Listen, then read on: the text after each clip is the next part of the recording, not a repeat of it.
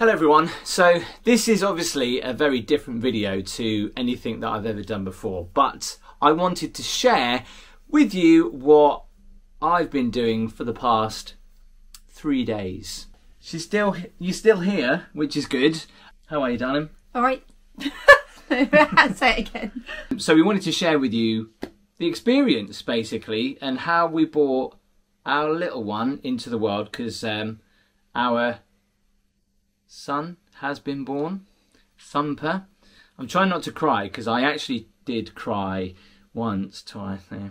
I cried a lot, didn't I? Yes, he did. And Tim's not a crier, so um, Yeah, just no. goes to show how emotional the situation is. So the last time we saw you, you was on your due date, Yeah, it which was. was. the third of Jan. It was. Um, and basically, we um, were waiting, and uh, nothing was happening. So we literally went to the hospital to get uh, to get booked in to be induced, and that was going to be on the Sunday night. And then your waters broke on the Saturday night. No, they broke on the Friday night. It's so confusing. So anyway, this is how it all started. Twenty-five to two. Gabby's we knew would happen. Gabby's waters broke at quarter past twelve. We'd just gone to bed, and we were like, I was We knew asleep. this was going to happen as soon as we closed our eyes, didn't we? Yeah. It was going to happen. Well, I tempted fate because I said basically we were going to get induced on Sunday. It's now early hours of Saturday morning. And I said to you just before we went to bed, no, this is not coming till you get induced, and then that could be 24 to 48 hours after. But here we are, baby's heartbeat being measured. That's a machine that does the whole contraction thing, and This is the contractions here. but you don't have any contractions yet, do you? No, I'm not in any pain, but the water. you got a cup of tea? Gone. And you've done your nails. You've you've got nails, Yeah. baby nails. Got my nails done, but didn't get my eyebrows done, did I? And this is the room that we're in. I think there's there's nice little touches like like that, which is quite nice. Yeah. And they've Maybe with I t- Daddy. yeah, but isn't that interesting? They've got no photos with with mum. Only those little things there. I think it's because they're trying to encourage it for men.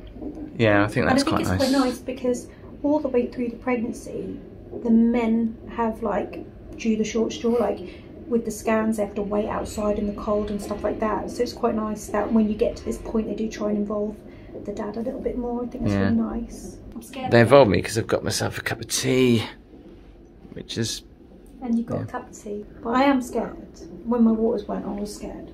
And the thing is, is we were saying how big the bump was, and now there's like the bump has shrunk a little bit. Strange. Yeah, the water's almost like the water bomb has gone off, and like it's just baby now. There's no water, so it's gone right down. It's so bizarre. But we knew that when the waters went, if they were going to go, it was going to happen early hours in the morning when we were looking rough. Yeah, we knew it would. It'd be that classic kind of baby thing where. That's why I'm not putting a camera on me. You look good. I, Really? however, didn't. I look rough. I mean, look, I'm wearing these. Why didn't you tell them how These- stubborn Holly was? Oh yeah, having a teenager, trying to get her out. No, she'd rather go to sleep.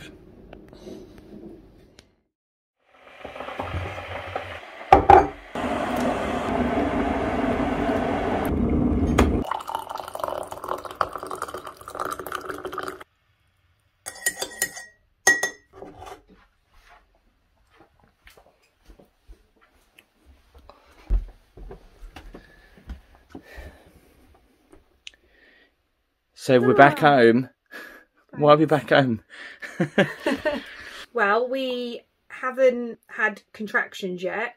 So We have had contractions. well, tightenings. Um so the hospital have said we can either um come home or stay in. It's up to us. So we've decided to come home to have a bit more comfort really. So the wait continues. The wait continues. So a few hours have gone by and we need to kill a little bit of time. And obviously our favourite pastime is McDonald's. While we wait, we tuck into McDonald's finest. But we're missing one thing. We forgot to order uh, I'll get some cheese and melts. some cheese melts. Please tell me I'm not the only person that does this with their chips. Are we the only people that are in labour practically that are having a sure we're not McDonald's? the only people that saves their receipts, put a code on there and you get a discount Big Mac. which we do as well. Cheers. Now people might be asking, why did you go to McDonald's when you're like in labour? The thing Why is, not? is Well, why not? Gabby's the, the hospital said, look, your waters are broken. You're not having any contractions. There's nothing we can do at the moment. So you've kind of just got to go home, do do whatever, go for walks, so you can bring labour on. And they said, obviously, if nothing has happened, come back to us tonight at uh, Eight o'clock. at eight o'clock, which is uh, what we did. So I'm whispering because there are other people in this ward. So they've put me on a ward um, and they've given me a bed. I've picked the one by the window. This is a bit more of a view. Show them the view, Tim. There it is.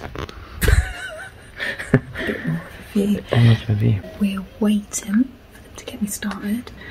And um, Because it hasn't started naturally, is it? no, just some tightening, but nothing major. Yeah. So um, it's a bit of a waiting game, isn't it? Still waiting, waiting, waiting, waiting. But um, at least I have a bed, so I can go to sleep. And that's that's my bed. It's very luxurious. Yeah. I'm just doing a video. Oh. We're getting used to these machines, aren't we? Yes, very much so. How many times have we been hooked up to one of these now? Five times, maybe, Wow. if not more. Tell everyone what it is, what it does. So, um, this is baby's heartbeat. This is contractions, I believe, isn't it? So when that raises, it means you're having a contraction. It's pretty low. I'm not having a contraction. We what we're looking for is where this question mark is here. We're looking for a little green tick, which means the machine is happy with baby's progress. And then we can move on to the next thing, which is a vaginal examination. I ain't gonna film that though. Please don't.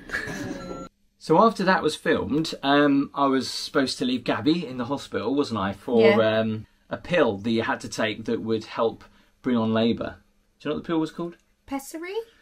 I have no idea what it is, but basically it's supposed to help labour. And we thought that, well, actually, she could be taking this pill for six hours and then have to take it for another six, hours. So they said, look, why don't you go home Yeah, and have the- a sleep? we were meant. I was going to go on a drip, weren't I? As yes, well? that was a hormone Yeah. drip to get it to get it going. So the pessary, and then I was going to go on a hormone drip. So they said, go home. I went home. I was home no longer than about 25 minutes, just got my head down. And then I had that call. And I'd literally just been asleep for about five minutes and I had that call. And Well, I spoke to you on the phone, didn't I, before Yes, you got you the call, and I said to you, "I'm having contractions," didn't I? And I was like, can't be, it can't be happening because it's like it's taken so long to happen. We just thought it's never going to happen, and you know, uh, water's broke, and it was 24, 48 hours, and we still haven't, you know. And so we were like, this is just not happening. So obviously, when I got that call from the midwife, said Gabby's going into labour. She's doing it very quickly. You need to get here now. And I was like, uh, uh, uh, and I just was asleep for like five minutes, and I was just like, I what's going on. Never got to the hospital so quick in my life. Obviously, went in there, and you were you were amazing to begin with. She just set the gas in there. She was all right. She was fine. Didn't Um, feel it. And I remember the nurses saying that. Um, I said, "How long can she be like this for?" And they said, "Well, you know, that could be six hours, could be twenty-four hours, could be days." And I was like, "Oh, great!" And then three hours later, after a pretty horrendous birth for you, darling, Yeah.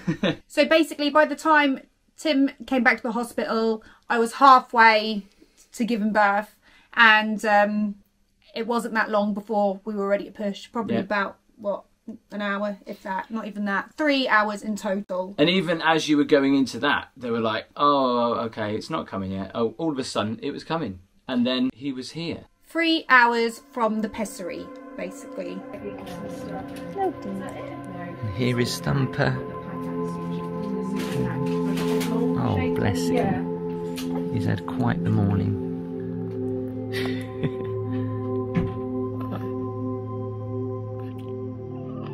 What time was he born? Um, I can't remember. I've lost all About five of five past three, I think. Yes, placenta was 307, so it must have been 305.